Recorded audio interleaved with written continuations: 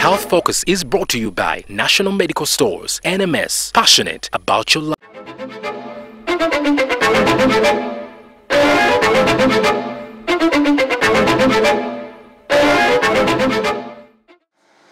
Following the commissioning of the second cancer machine, the Institute will be able to provide treatment to up to 300 patients daily. At least half of this number requires radiotherapy and at times combined with chemotherapy.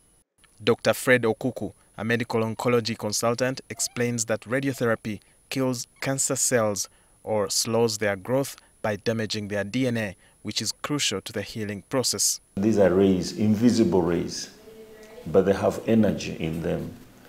And when they confront a tumor, they are able to kill the cancer cell within the tumor. So just and a good example is the X-rays that we use for for for imaging. It's an effective treatment. It it helps us quite a lot to treat difficult and complicated cases.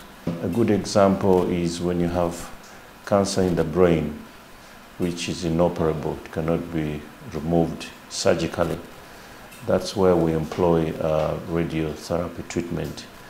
The brain is a special organ that uh, bars off most drugs. So most cancer drugs don't reach the brain even when uh, they are given through the vein. He says it takes days or weeks of treatment before DNA is damaged enough for the cancer cells to die.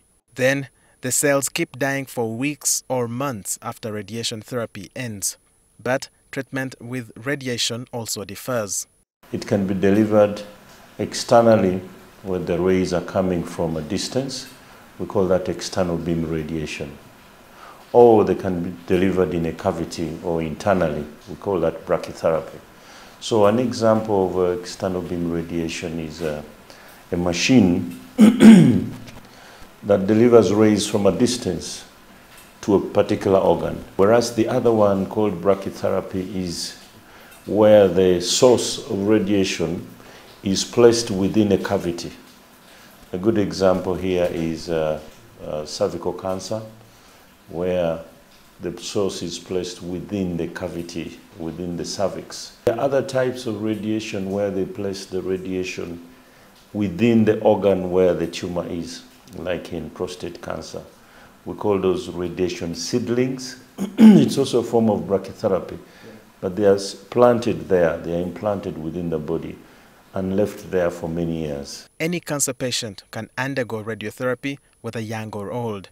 The process lasts for a maximum of five minutes and is crucial for easing cancer symptoms as well. If you have a bleeding tumor, the best treatment to get to rid of the bleeding is radiation.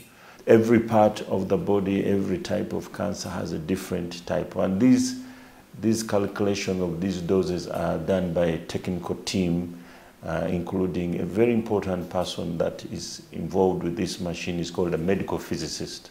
It can be delivered to cure a tumor, for example. The, the intent of the radiation might be to cure a tumor. And in that way, the treatment is usually higher and takes over a long period of time. Can also be delivered just to come deal with pain or what we call palliative, palliative radiation with no intent to cure. This is when the cancer is really advanced.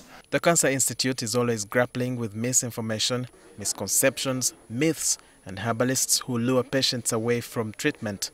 Dr. Okuku says whereas medicines are developed from herbs, they may not be sufficient to treat the patient. I'm not disputing that they don't have some cancer effects. They do, but it's suboptimal. Suboptimal means it is below the required uh, where would combine two drugs or three to be effective, somebody is giving you just one. And probably it's being absorbed through the gut instead of the vein. Just to emphasize that these treatments are safe. These machines are just like any other machine that is in the public uh, domain that is used for treating. The machines are tested, they are calibrated, Radiation services at the Cancer Institute are free of charge, but can cost up to 5,000 US dollars, an equivalent of 18 million Uganda shillings, elsewhere. Radiation can cause side effects, but Dr. Okuku says they are managed and this is because a patient analysis is done to establish the best option between undergoing radiotherapy and nursing the side effects. There can be vomiting, there can be nausea, there can be low blood counts uh, if radiation is targeting the bone marrow. But all these, there are ways that we go around that by supporting the patient while on treatment. But usually, when we are using any medical treatment, you weigh the benefit and, uh, and, and the side effects. But then, once a patient goes in for radiotherapy, good feeding is a must. We need to have a balanced diet. The body requires a balanced diet while you're on treatment. So nutrition is very important, but remember the do's and the don'ts that we have mentioned. Do not drink, do not smoke, do not fry or don't take lots of fatty stuff and um, avoid excessive sugars. There are all these myths about that. Don't eat this, don't eat this, don't eat this. The cancer takes sugar. What we are actually referring to is do not take excessive but you need some sugar in the body. Every year, more than 6,000 cases are registered at the Cancer Institute, and Uganda's cancer burden is generally lowering compared to other countries in the region. Cancer is curable if detected early, and the only way to do this is have regular cancer screening checkups. Walter Mwesije, NTV.